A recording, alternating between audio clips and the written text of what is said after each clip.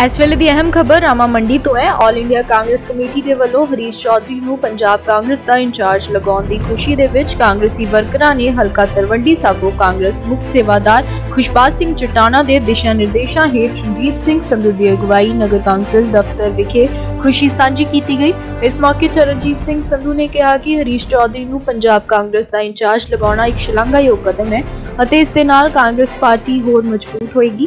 ਉਹਨਾਂ ਨੇ ਕਿਹਾ ਕਿ ਮੁੱਖ ਮੰਤਰੀ ਚਰਨਜੀਤ ਸਿੰਘ ਚੰਨੀ ਦੀ ਅਗਵਾਈ ਵਾਲੀ ਕਾਂਗਰਸ ਸਰਕਾਰ ਦੇ ਵੱਲੋਂ ਪਾਣੀ ਅਤੇ ਬਿਜਲੀ ਦੇ ਬਕਾਇਆ ਬਿੱਲ ਮਾਫ ਕਰਨਾ ਇੱਕ ਇਤਿਹਾਸਿਕ ਫੈਸਲਾ ਹੈ। ਉਹਨਾਂ ਕਿਹਾ ਕਿ ਆਉਂਦੀਆਂ ਵਿਧਾਨ ਸਭਾ ਚੋਣਾਂ ਦੇ ਵਿੱਚ ਕਾਂਗਰਸ ਪਾਰਟੀ ਦੀ ਸਰਕਾਰ ਮੁੜ ਲਿਆਉਣ ਦੇ ਵਿੱਚ ਹਰੀਸ਼ ਚੌਧਰੀ ਜੀ ਦੀ ਵਿਸ਼ੇਸ਼ ਪਹਿਲ ਕਦਮੀ ਹੋਏਗੀ। ਬਹੁਤ ਵਧੀਆ ਖੁਸ਼ੀ ਦਾ ਮੌਕਾ ਹੈ ਜੀ। ਸਾਡੇ ਮਾਣਯੋਗ ਚੌਧਰੀ ਹਰੀਸ਼ ਜੀ ਜੋ ਰਾਜਸਥਾਨ ਸਰਕਾਰ ਵਿੱਚ ਕੈਬਨਿਟ ਮੰਤਰੀ ਹੈ ਉਹਨਾਂ ਨੂੰ ਪੰਜਾਬ ਕਾਂਗਰਸ ਦਾ ਇੰਚਾਰਜ ਲਾਇਆ ਗਿਆ। ਉਹ ਪਹਿਲਾਂ ਵੀ 2017 ਦੇ ਵਿੱਚ ਜਦੋਂ ਪੰਜਾਬ ਵਿਧਾਨ ਸਭਾ ਦੇ ਇਲੈਕਸ਼ਨ ਹੋਏ ਸੀ ਉਦੋਂ ਵੀ ਉਹਨਾਂ ਨੇ ਬੜੀ ਆਪਦੀ ਜ਼ਿੰਮੇਵਾਰੀ ਬਖੂਬੀ ਨਿਭਾਈ ਸੀ 2017 ਦੇ ਵਿੱਚ। ਤੇ ਪੰਜਾਬ ਵਿੱਚ ਕਾਂਗਰਸ ਪਾਰਟੀ ਦੀ ਸਰਕਾਰ ਬਣੀ ਸੀ।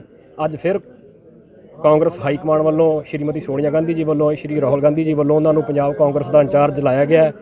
ਜਿਸ ਨਾਲ ਸਾਡੇ ਸਾਰੇ ਵਰਕਰਾਂ ਦੇ ਵਿੱਚ, ਲੀਡਰ ਸਾਹਿਬਾਨ ਦੇ ਵਿੱਚ ਬਹੁਤ ਖੁਸ਼ੀ ਦਾ ਮਾਹੌਲ ਹੈ, ਕਿਉਂਕਿ ਉਹ ਸਾਰਿਆਂ ਨੂੰ ਨਾਲ ਲੈ ਕੇ ਸਾਰੇ ਧੜਿਆਂ ਨੂੰ, ਪਾਰਟੀ ਨੂੰ ਇਕਮੁੱਠ ਰੱਖ ਕੇ ਦੁਬਾਰਾ ਫਿਰ ਪੰਜਾਬ ਦੇ ਵਿੱਚ 2022 ਦੇ ਵਿੱਚ ਕਾਂਗਰਸ ਸਰਕਾਰ ਬਣਾਉਣ ਦਾ ਕੰਮ ਕਰਨਗੇ। ਪੰਜਾਬ ਵਾਸਤੇ ਕਿ ਜੋ ਸਾਡੇ ਮਾਨਯੋਗ ਕੈਬਨਿਟ ਮੰਤਰੀ ਰਾਜਸਥਾਨ ਦੇ ਹਰੀ ਚੌਧਰੀ ਜੀ, ਉਹ ਪੰਜਾਬ ਦੇ ਇੰਚਾਰਜ ਲਾਏ ਨੇ। ਪਹਿਲਾਂ ਵੀ 2017 ਚ ਉਹ ਪੰਜਾਬ ਦੇ ਇੰਚਾਰਜ ਲਾਏ ਸੀ ਤਾਂ ਬਖੂਬੀ ਕਾਂਗਰਸੀ ਸਰਕਾਰ ਆਈ ਸੀ ਤੇ ਸਾਨੂੰ ਆਸ ਹੈ ਕਿ ਉਹਨਾਂ ਦੀ ਮਿਹਨਤ ਸਦਕਾ ਪੰਜਾਬ ਦੇ ਸਾਰੇ ਕਾਂਗਰਸੀ ਇਕਮੁੱਠ ਹੋ ਕੇ ਆਉਣ ਵਾਲੀਆਂ 2022 ਦੀਆਂ ਚੋਣਾਂ ਦੇ ਵਿੱਚ ਉਹਨਾਂ ਦੀ ਛਤਰ ਹੇਠ ਪੰਜਾਬ ਦੀ ਮੁੜ ਸਰਕਾਰ ਕਾਂਗਰਸ ਦੀ ਪੰਜਾਬ 'ਚ ਬਣੇਗੀ, ਇਸ ਲਈ ਸਾਨੂੰ ਆਸ ਹੈ।